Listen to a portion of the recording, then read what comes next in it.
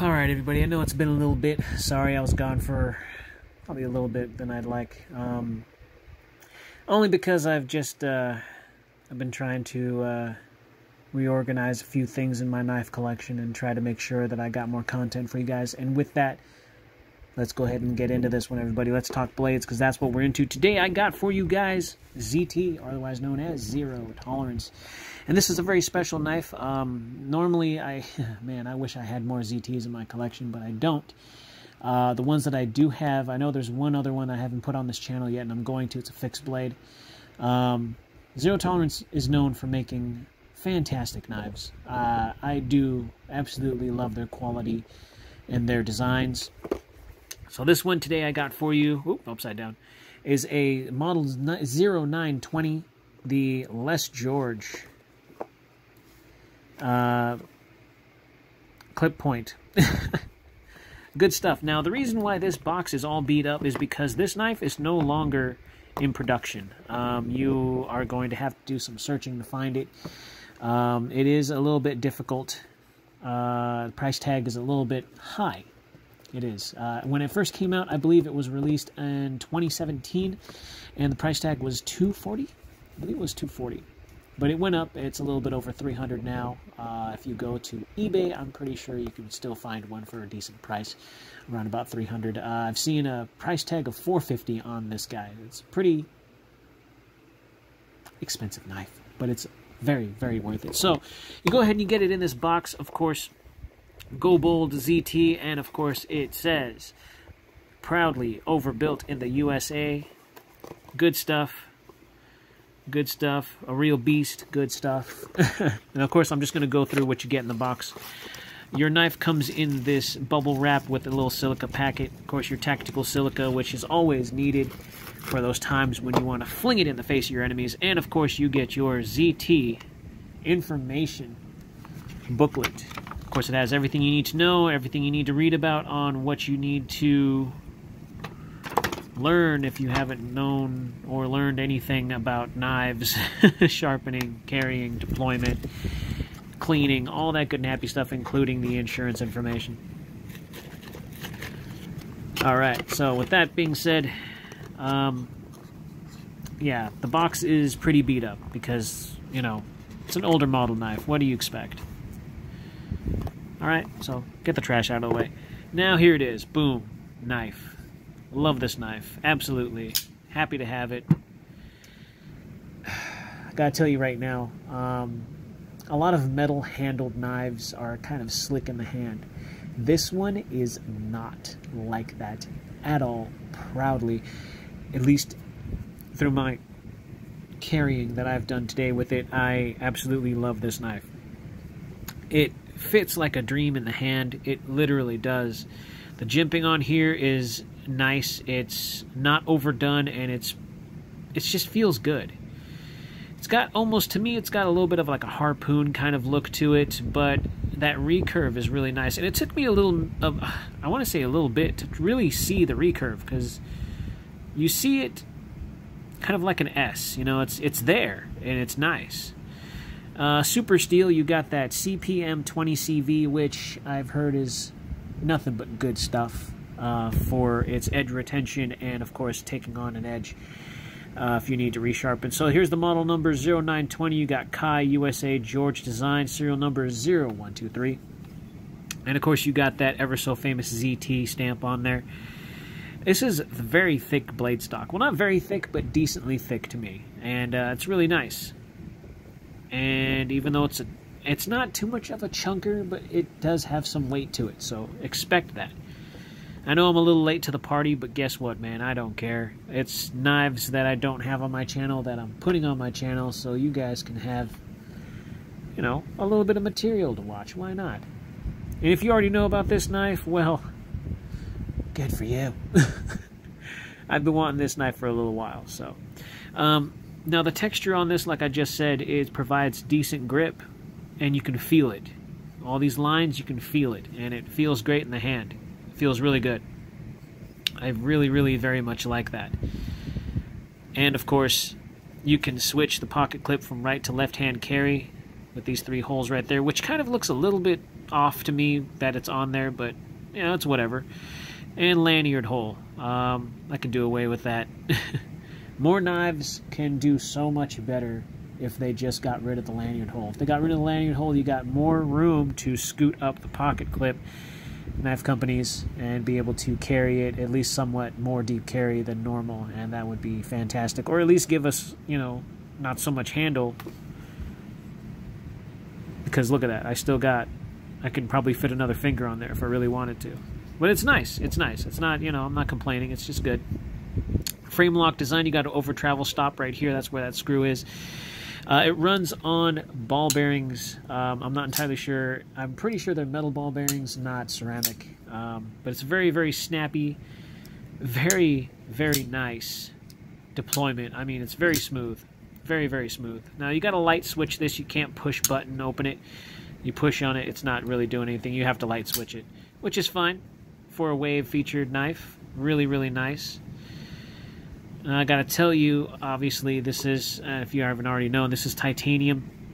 If I haven't already said that, I'm pretty sure I did, but I'm gonna say it again. It is a titanium handle, and it is lightly milled on the inside for weight reduction. You can kind of see it under there, a little dent and divot on this side.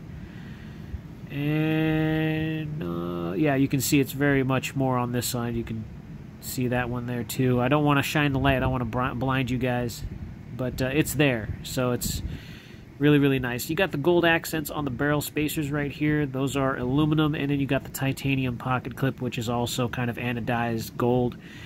It's kind of got like an off gold, to be honest with you. It's like a, it's got a little bit more, it's got a little bit of green and gray in there, making this kind of gold not so bling blingy. But it's just the right amount to where it doesn't look too flashy. I don't know if that makes sense, but it's nice. It really is. Uh, with the price tag of where it is, depending on where you go, this is not a cheap knife by any means. So it's more of a collector, but it's built to be heavily used. That's what Zero Tolerance knives are known for. They're built, overbuilt, so you can actually use your knife with confidence, knowing that it's still gonna be a very, very trustworthy knife at the end of the day. And uh, it can take a beating. It can take a beating. So yeah, we'll get into the specs of this thing so that way you guys know what you're getting into. I'm going to go ahead and get into the length of this knife. Ah, I try to get it in frame for you guys so you guys can see that. Alright, so I'm going to try and do a blade comparison, or at least a knife comparison, whatever I'm holding in my pocket right now, out of random. So yeah, about 4 inch blade from the, at least from that area right there, from the pivot. But it states that it's a 3.9. So yeah, it's damn near four inches. So you're looking at an overall nine inch knife. And of course, from the handle, you're looking at five inches. That's a pretty big knife. Pretty big. Like it. I like it. I've always liked big knives. I've never really cared. I mean, I, I'm starting to get into smaller knives. I'll, you know, three and a half inches would be good, you know, for me. 5.42 ounces. Now, that's kind of a deal breaker for a lot of people because it's a little over 5 ounces. But guess what? 5 ounces is my sweet spot. I actually like to carry a knife around about 4 to 5 ounces. Uh, I don't mind lighter knives, I just like the feeling of it there. Uh, I don't carry any more than I need to wallet, keys, watch, knife, phone. that's just how it is. I, that's all I really carry. I used to carry tactical flashlights um, multi-tool, and a uh, lighter. I used to carry all that stuff because you know I don't smoke or anything. I just carry it just in case I ever need any of that stuff. Um, but you know, over the years, I kind of figured that's more stuff that I don't really use. I use my knife more than I use any of that other stuff. But you know, who knows? we'll get into the calipers. You guys know how wide things are. Alright, so on the handle you're looking at 13.2 or 13.3.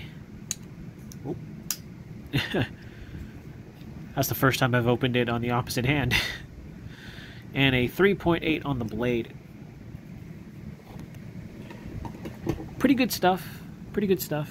Um, like I said, it's a little bit chunky. It's got a little bit of weight to it. And the price tag is a bit hefty if you're able to find one. Um, it's just got oh man, it's just got that cool factor. It was very attractive. When I first saw it, I was instantly drooling, and I was just trying my best not to feed into my temptation, but I was able to get this on a trade, so I was lucky there. I very much wanted this for a long time, and uh, I was really sad when they stopped making it, but I was really fortunate around this time, so can't complain. And this blade centering is really, really good on this knife, obviously, but uh, look at that. Look at how close the material is. it's very, very close. Nice knife, though. Beautiful stuff. Beautiful stuff. It's very good. Very good grip. It's good stuff. Um, I'll go ahead and let's see if, how it cuts paper. Uh, I'm just gonna grab a random piece of. Okay, well, this could be used for cutting. Why not? Yeah, it's pretty sharp. Yeah, it's a little toothy, closer to the tip. It's not bad. It just it might need a little bit of touch up. But this is the factory edge. So this was brand new. Uh, never used. At least that's what I was told anyways. So yeah, it's a bit it feels like it could use a bit of a touch up. That's okay with me. I can do that. Do I like sharpening recurves? No, I don't. I'm not really good at it, so I might end up sending it to somebody to get that done uh, if I feel that's necessary. Otherwise, it still has a pretty decent, it's got a workable edge on there. It's not as razor sharp as I'd like it to be, but hey, you know, what can we do?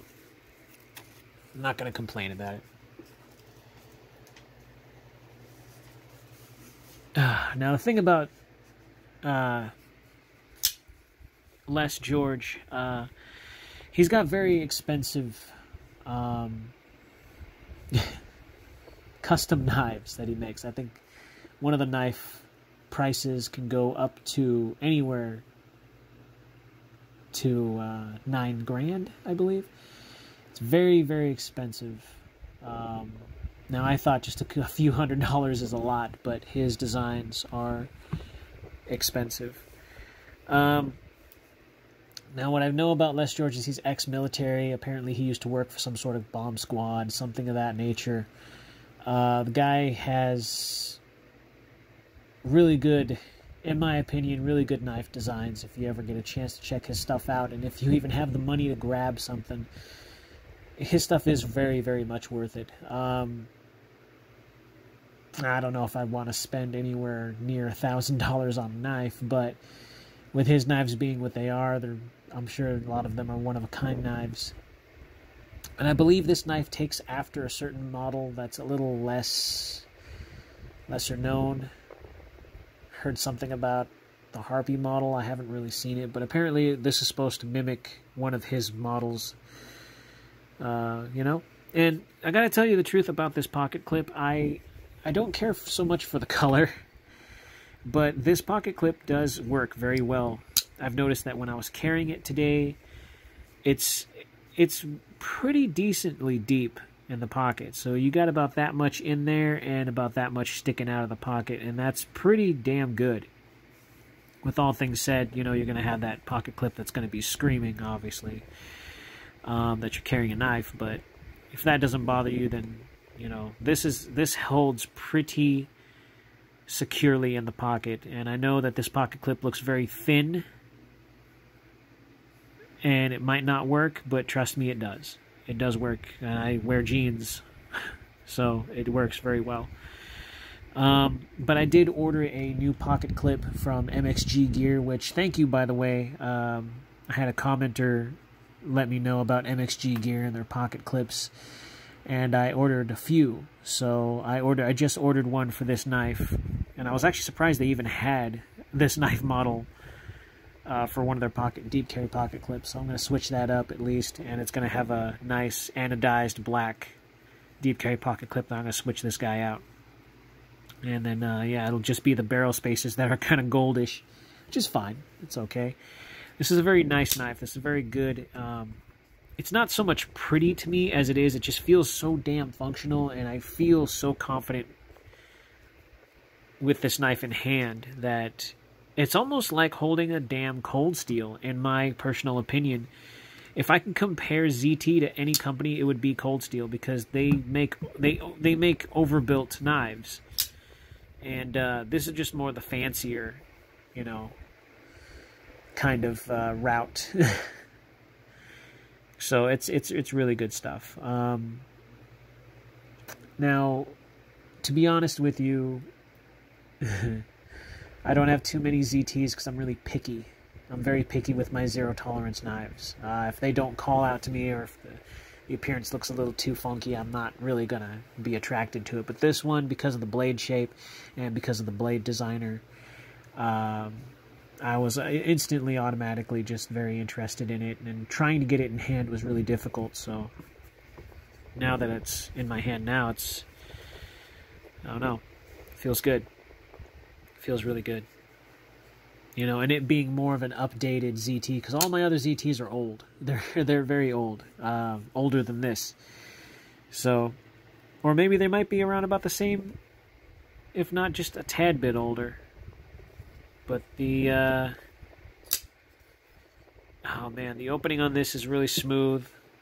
The design on this feels really great. It just feels good in the hand.